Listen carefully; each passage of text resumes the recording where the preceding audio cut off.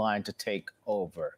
Uh, tonight, Jay Dow spoke with him one on one with an extended interview to see what he thinks comes next. Jay joining us here in studio to break it all down. I know he's spoken before, but this is the longest that he's spoken and well in depth. That's right, Kenderson. We spoke with him for about 32 minutes, covering a variety of issues from his own politics and, of course, the fate of Mayor Eric Adams. Our Sunday afternoon sit down discussion with New York City Public Advocate Jumaane Williams, originally scheduled to take place outdoors, moved at the last minute thanks to a steady rain to a bustling coffee shop in Manhattan.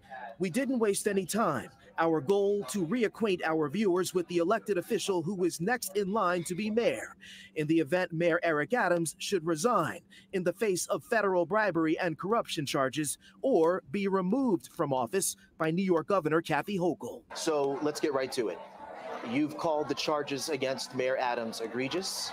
You've questioned whether or not he can restore the public trust and whether or not he can do the job while he's fighting these charges. So let me ask you first off do you think it's appropriate given the few days that you've had for to digest this for the mayor to resign or to continue to serve the city while he fights these charges?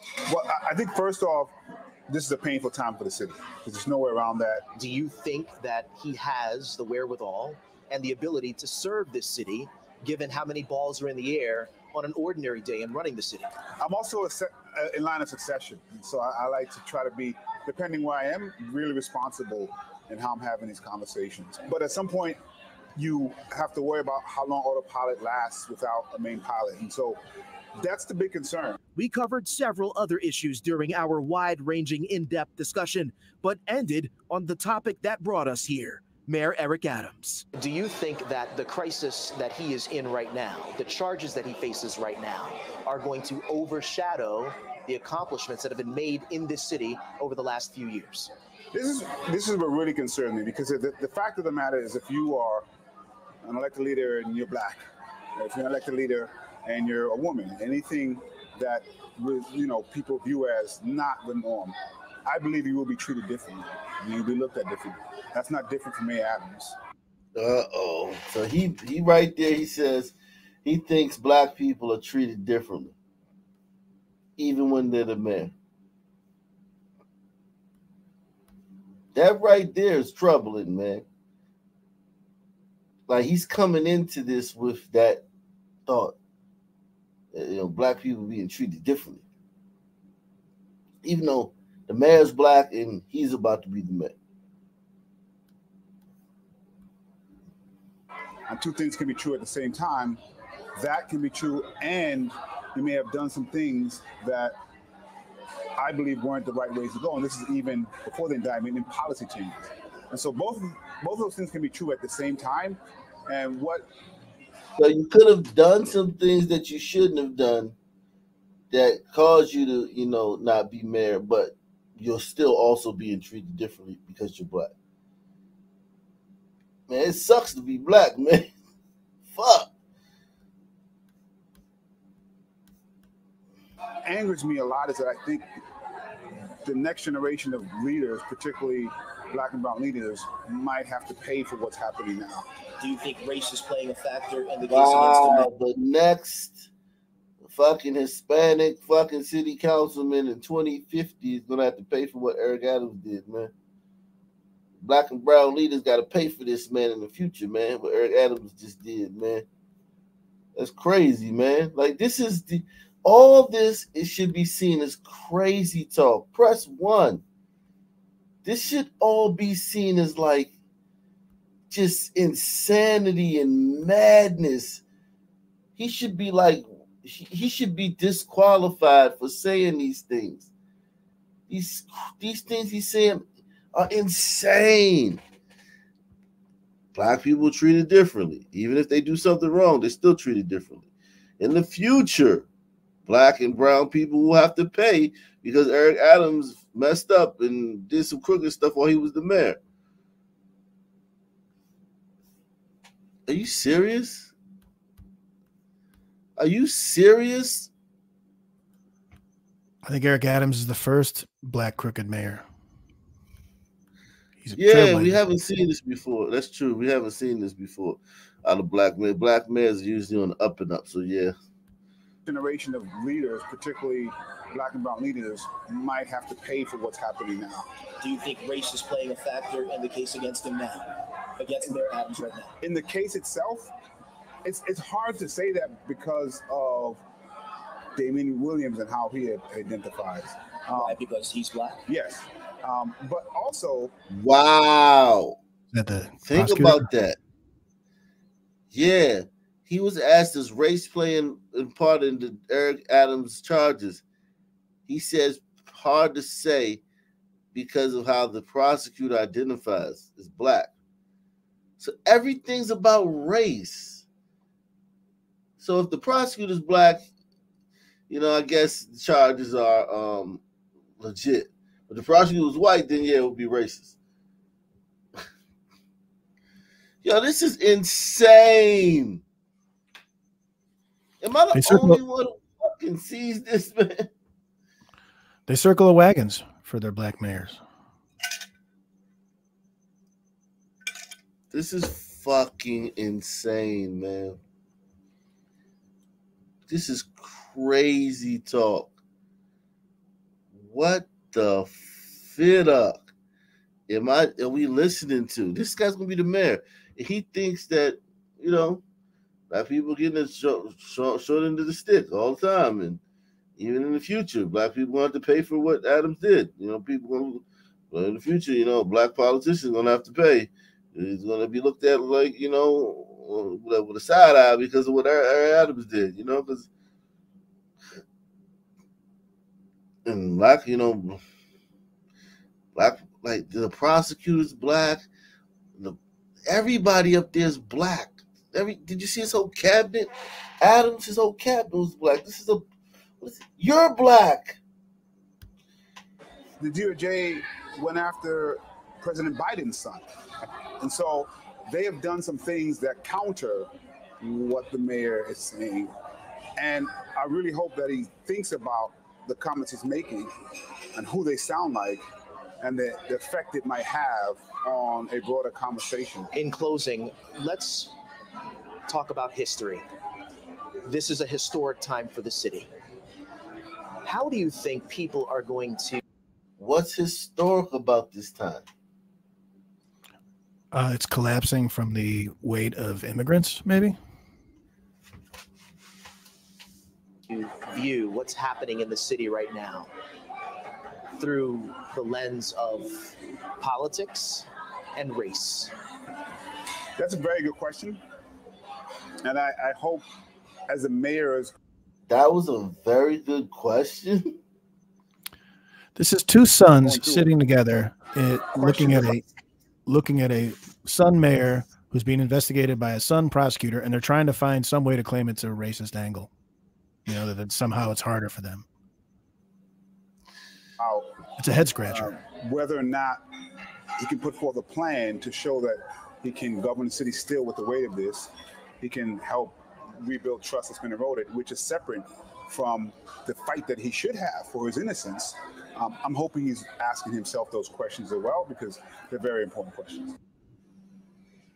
That piece. You Negroes are fucking annoying as shit.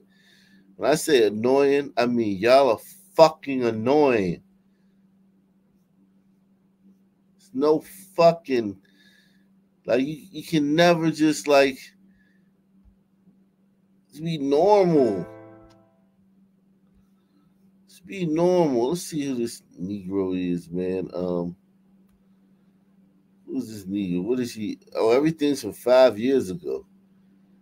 Everything's from five years ago. Um,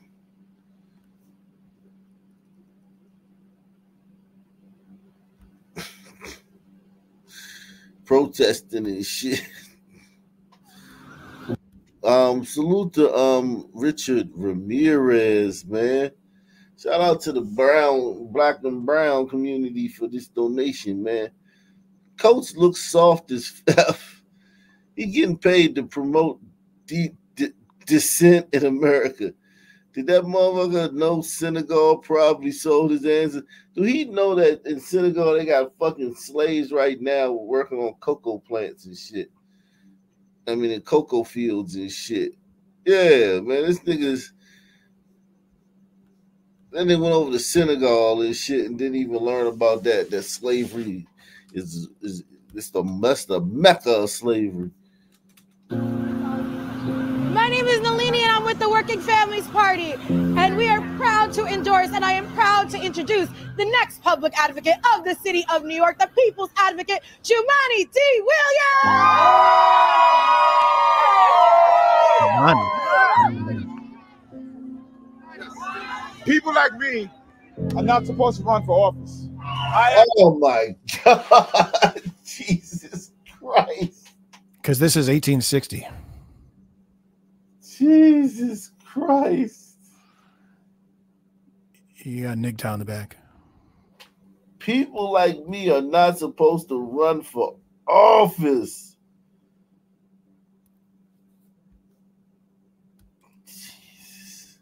This is about to be the mayor of New York City. This is a clown show, man.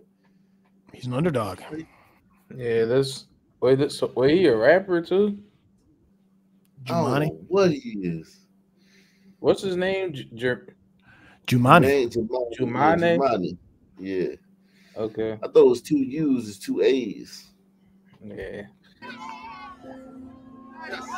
People like me are not supposed to run for office.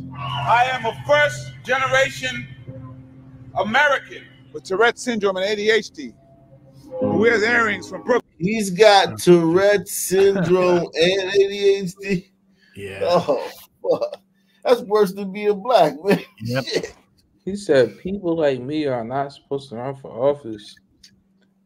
If he if this nigga said if he mentions black, then you know this nigga has like a 70 IQ because he's he's literally the predecessor of a black man. This is five years ago. This is when he Okay. was Wait, how- his How long has he been a um commu- what is he? advocate Yeah. since this since this time. This is when he was running five years ago. Brooklyn and loves hip hop. When I was asked to run for public advocate, I thought about a night not too long ago. A young man came up to me and he said he had Tourette syndrome just like me. He said that he always wanted to enter politics. He thought he couldn't. And he sees me up there. And it gives him hope. This nigga is a tether. He a first generation American, a fucking tether with Tourette syndrome and fucking ADHD. Well, all blacks got ADHD though. so that I knew no matter how steep the hill was, that I had to keep going up. I had to keep going up the hill for equity. I had to keep going up the hill for justice. I had to keep going up the hill for all of us. Wait I had to keep going up the Hispanic dude playing basketball, man. I take him, man. I know I can take him, man. I dunk on him. all of us. I have to keep going up the hill for him. The biggest complaint I used to get as a council member is I was too much of an activist. And I said, that is the only way that things get done in this country. Now, we've got some big hills in New York City to run up, but the people in NYC are strong. We are the patriots. We are the ones that make America great. We are the ones that make America live up to its true ideals. We all know that the only option is to keep going up until we reach the top. The people who say that it cannot be done, please move out of the way of the people who are doing it. Mic check. Mic check. Mic check. Mic check. I see the hill. I see the hill. I see the hill. I see the hill. And I know it's steep. And I know it's steep. But I will. But I will. Keep moving up. Keep moving up. Until I reach the top. Until I reach the Yeah, you about to reach the top. He about to be the man. Not one glider in that whole crowd, man. This nigga, this nigga manifested being the mayor. God damn. Ain't that a bitch? Wow, Jumaane, man. Um, Yo, if your if your mayor name is is Jumaane, deep that's shit. how you know you fucked up, dog. Yeah, you you can you can just you might as well just prepare for a scandal. Like like I think him six months before he, he's embroiled in scandal. It's it's gonna be some sort of embezzlement. If it ain't gonna be embezzlement, it's gonna be some something, some Something. woman. He might even. Oh yeah, he probably gonna be fucking one of his um one of his uh